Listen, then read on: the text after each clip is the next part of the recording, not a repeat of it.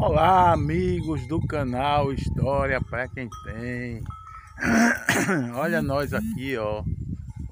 As cabrinhas aqui atrás da gente. As ovelhinhas ali, ó. Deixa eu mostrar para vocês. As ovelhas ficam aqui no curral. As ovelhinhas ficam ali no curral. Os bodinhos aí, ó. Bode, cabra. Os cabritinhos. Catavento ali, ó. Rodando muito. Hoje está ventando muito aqui no sítio. O, o dia está bonito para chover. É, gente. No Cariri Paraibano, no sertão. A gente diz que o dia tá bonito quando tem umas nuvenzinhas, não sei se dá para vocês verem aí, quando tem umas nuvenzinhas e o tempo fecha para para chover, porque aqui é muito quente. Uma coisa linda ali, ó. E aí nós vamos ali, gente.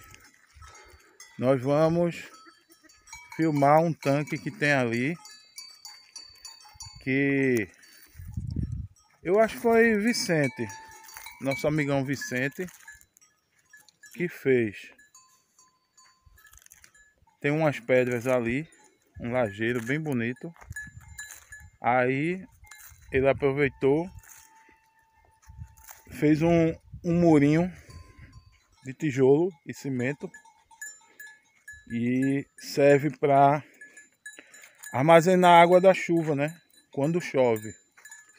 Aí junta uma aguinha lá. Isso foi muito foi muito antigamente, porque quando não tinha esse poço aqui, hoje tem muita água, tem água para casa, tem água para lavar em roupa dentro de casa, lavar, fazer tudo. E esse tanquinho era justamente quando não tinha essa água. Então servia muito para os animais beberem, servia para trazer água para dentro de casa. É o espinho, gente. O espinho pegando aqui na, na chinela. Então, servia para lavar roupa. As mulheres daqui do sítio vinham lavar roupa aqui. Então eu vou mostrar para vocês. E desse aqui tem vários outros espalhados aqui dentro do sítio. Vou mostrar para vocês. Fiquem com o vídeo. Cheguei aqui, vou cantar as coisas do meu sertão, as coisas do meu Nordeste, aprendi no baiano. Jogue chachado forró, o nosso povo dragão, as nossas festas juninas, nosso São João. Quadrilhas, fogos, fogueiras, histórias de lampião, histórias do meu cantaço, histórias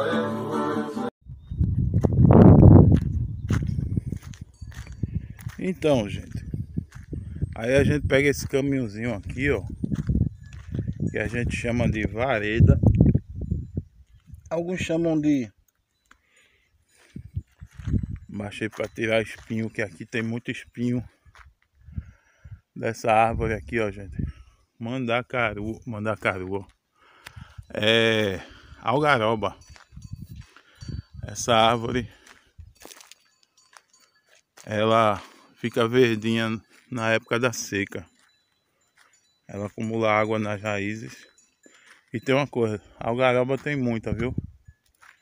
E essa planta, ninguém... Essa árvore ninguém planta ela não, ela nasce só, ela cai umas baixinhas no chão. Os animais também comem ela e soltam as sementinhas.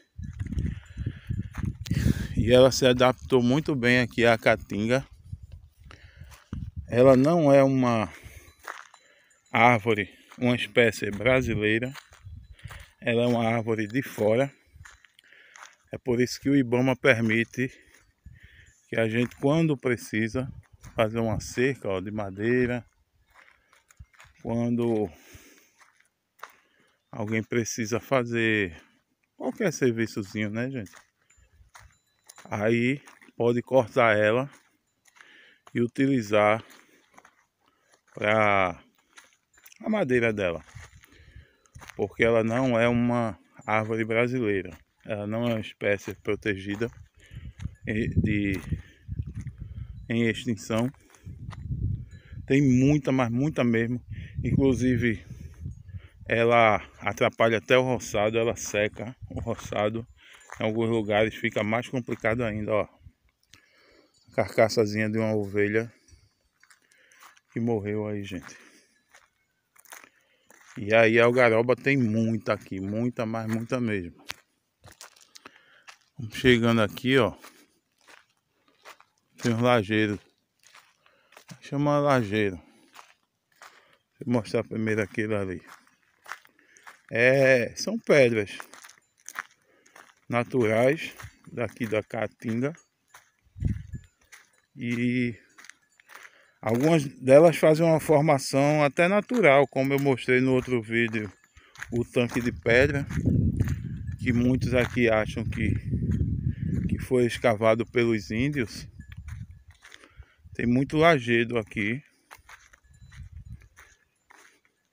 E algumas formam esses tanques naturais. Às vezes é um tanque mais fundo, outra vez é um tanque mais raso, de forma que quanto mais fundo era, era melhor no passado para se acumular água e aí não só ser uma água para ser utilizada dentro de casa, como também para os animais, porque a gente tem muito animal aqui solto, bode, cabra, ovelha.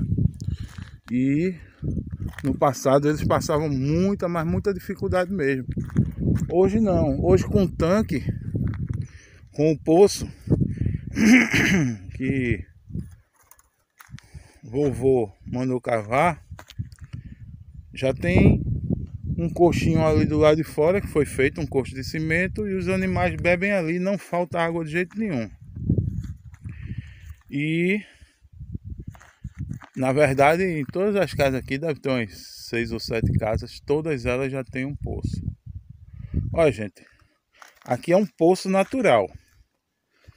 É claro que está vazio por conta da seca. Tem até uma, uma planta ali chamada ortiga que coça, gente. Ela tem uns pelinhos e se bater na pele coça muito. Aqui tem outro tanque, ó. Outro tanque. Quando chove, isso aí acumula água. E essa água é muito bem-vinda. Hoje, no caso, só para os animais beberem. Mas é muito bem-vinda essa água. E no passado foi muito mais, como eu disse a vocês, porque não se tinha água em casa. Né?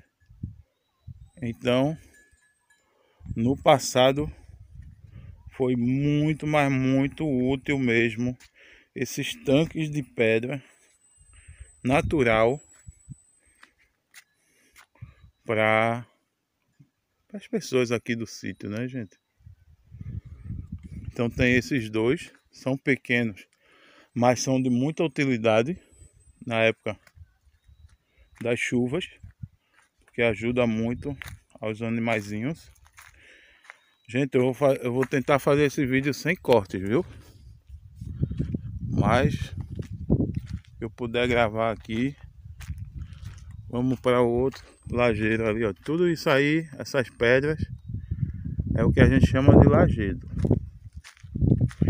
Lajedo ou lajeiro.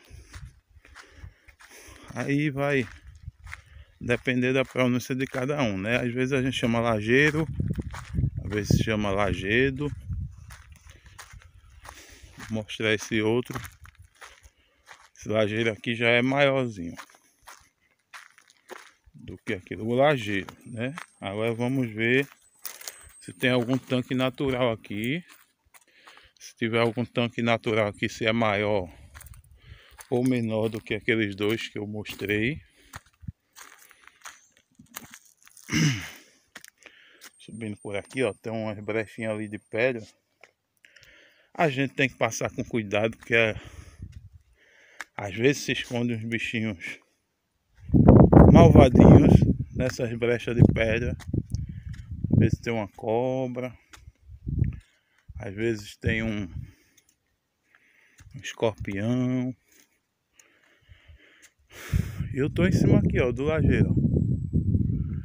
Fazer uma vista aqui parcial para vocês, ó. Casinha de vovô tá para ali, ó. Catavento tá aqui atrás dessa dessa algaroba, não sei se vocês estão vendo. Catavento lá atrás. Casa de vovô tá para ali. Aí a gente vem aqui, ó. Aqui me parece que não tem nenhum nenhum tanque natural.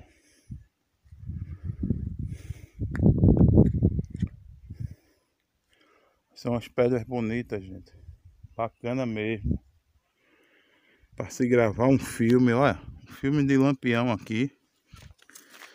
Filme dos cangaceiros. Se a gente gravasse aqui, ficava bacana, olha. Olha a paisagem, gente. É bonito, viu? Árvore seca, gente mas ela não está morta. Aqui basta cair umas chuvinhas e hoje parece que vai chover e ela já cria umas folhinhas, viu? Isso é a, a beleza do nosso cariri. Ó. Gente, deixa eu perguntar uma coisa para vocês. Como é que uma árvore nasce no meio de, pedra? Olha pra aí, gente. Que coisa linda. E eu vou dizer para vocês, viu? A pedra estava aí antes antes do da árvore. Aqui embaixo, gente, é só pedra. Tem areia aqui. Mas é só uma camadinha que o vento traz, mas só pedra, gente. Como é que é essa essa árvore nasceu aí, gente? É a natureza, né? Eita, coisa bonita. Olha o tamanho dessa pedra aqui. Olha o tamanho dela. Deixa eu ver aqui, eu do lado dela. Não vai dar para eu filmar porque eu tô com a câmera na mão, mas quase a minha altura. Deixa eu voltar aqui um pouquinho. Quase a minha altura essa pedra. Ó. Eu tenho 1,75m. Ela deve estar na altura dos meus olhos. Linda, né, gente? Agora vamos aqui para o tanquinho. Que eu posso estar enganado, depois vou confirmar, mas eu acho que foi Vicente. Vicente que morou muitos anos aqui no sítio. Foi casado com tia Mariquinha. Tia Mariquinha já partiu para outro plano. Vicente, pai de Verinho, Vandinho, Vera Line e Verônica, nossos primos que moram em São Paulo. Olha, gente, capricho. Filmar um pouquinho aqui de, de longe. Depois chego mais de perto. Olha o capricho, gente. Aproveitou o lajeiro, tá vendo? Para fazer. Deixa eu subir aqui. Para fazer o tanquinho, ó. Que legal. Tudo é pedra aí embaixo, gente. Ali onde tá. Cadê meu dedo? Ali, ó, tá acumulada ali uma uma laminha, poeira, alguma coisa. Mas tudo é pedra embaixo, gente. Vocês estão vendo o tanquinho. Eu já tive até uma ideia aqui de de botar umas tilápias aí. Criar umas tilápiazinhas. Ver como é que eu trago água para aqui para oxigenar. Olha, gente. Como é bonito esse lajedo. E ele é meio, meio redondinho. Vocês estão vendo? Tanquinho aqui de cima, ó. Bem feitinho, no capricho.